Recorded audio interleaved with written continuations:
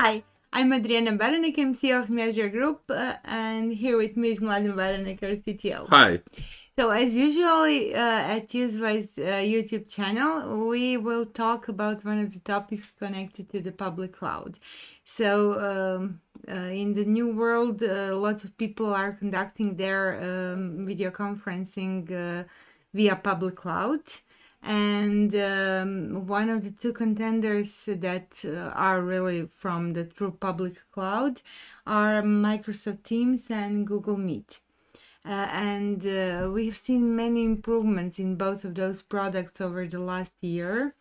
So uh, we thought that it would be interesting to give uh, an overview of the current status and uh, where both of them are going.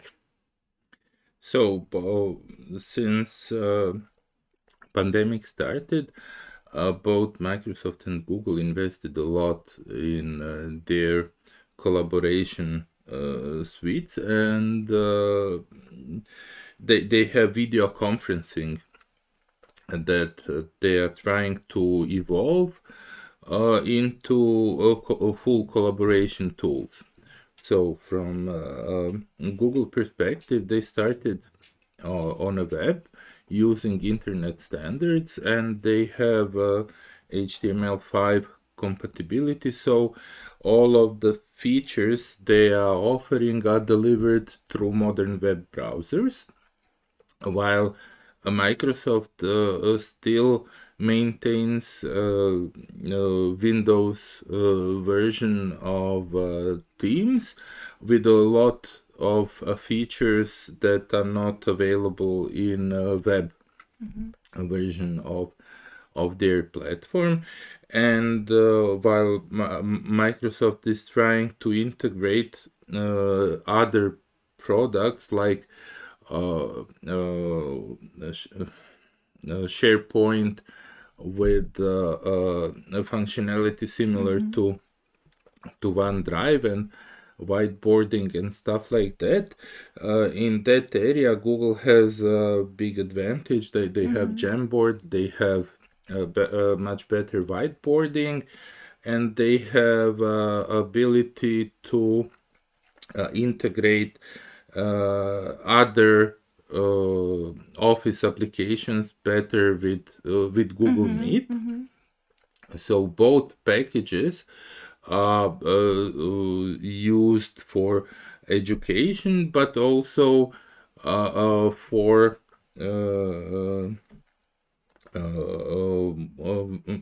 business video conferences mm-hmm. and uh, they are also well suited now with uh, added functionality for uh, enabling conferences with up to mm-hmm. a few hundred people. So if you need mm-hmm. Uh, a few thousand or more mm-hmm. people, then they are not really the best solution uh, to to deliver content. But uh, uh, for for up to few hundred people, mm-hmm. uh, both platforms are very well suited for yeah for making even conferences. Yeah, and in both solutions, basically, we have seen huge improvements over the last few months, and uh, uh, both uh, Google and Microsoft are working to make those uh, video conferencing tools more than that. It, they um, uh, are, um, uh, for instance, Google is always very good with applications on mobile phones. Um, yes so bo- both platforms have uh, versions on mobile phones yeah. for Android and for uh, iOS. So you you do not have to use web browsers on mm-hmm. mobile phones. You can use native mm-hmm. applications. They are somewhat limited uh, uh compared to w- what you can do on uh, a web version in case of Google or, uh, or Windows version in yeah. case of of Microsoft, but they, they also have a voice integration. So both tools are able to uh, receive uh, voice calls, so you, you can have dial in participants. Mm-hmm. Uh, and uh, th- there is also a lot of features that are coming from artificial intelligence background. So the, uh, the, uh, they are uh, they started to include transcription Yeah. in and uh, Go- google has transcription in uh, quite a few languages. So they, they, they support uh, german spanish and uh, english and some other languages so uh, it is becoming uh, more useful every month. And we see a lot of potential in enabling people to work better uh, uh, using uh, google meet and microsoft teams Yeah, and you can really be very productive and very efficient using those tools. Um, and uh, Yes, it is worth mentioning that there is also a solution uh, for interoperability.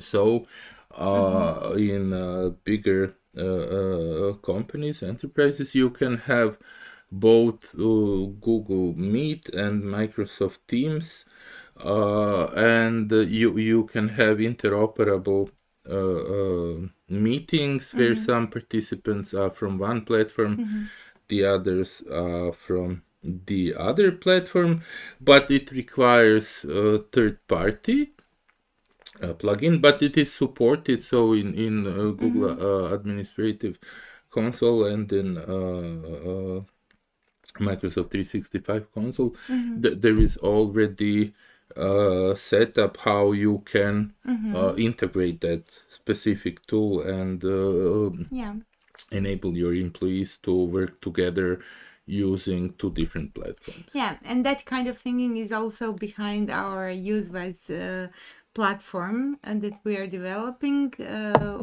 we want people to be able to have tools they want and companies to have easy time uh, making that happen like this tool for interoperability.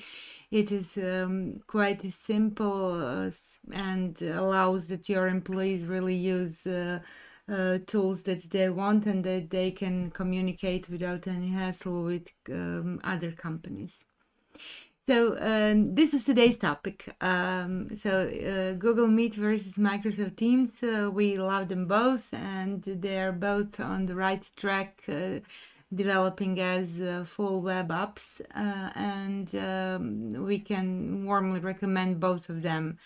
So um, we will also record one video with the theme video conferencing in the cloud because there are solutions that are in the cloud but they're not in the public cloud in fact and we will tell you what the pitfalls of that uh, is and uh, why definitely meeting Yeah, so for- are the best For for example, WebEx, Zoom, and Yeah.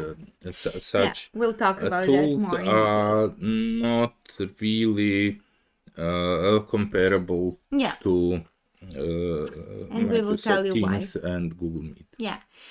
Uh, I hope you enjoyed our little chit chat about Meet and Teams. Um, have fun using those tools. Uh, like the video and subscribe to our channel. And, And uh, if you have some uh, questions regarding video conferencing, yeah, uh, we uh, have time slots every Friday. So Yeah. please, um, if you would like to contact us, make uh, yeah, make, make, a reservation appointment. and yeah, an appointment. And yeah. Great. Thank you, Mladen. Uh, thank you for watching. We will see you soon. Bye. bye.